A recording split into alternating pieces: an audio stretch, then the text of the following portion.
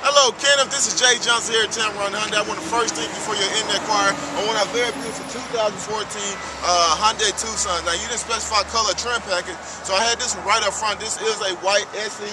As you can see, you do get your alloy rims, very beautiful rims on this model. This is a leather model with uh, cloth inserts. SE is what we call it. True five passenger seating.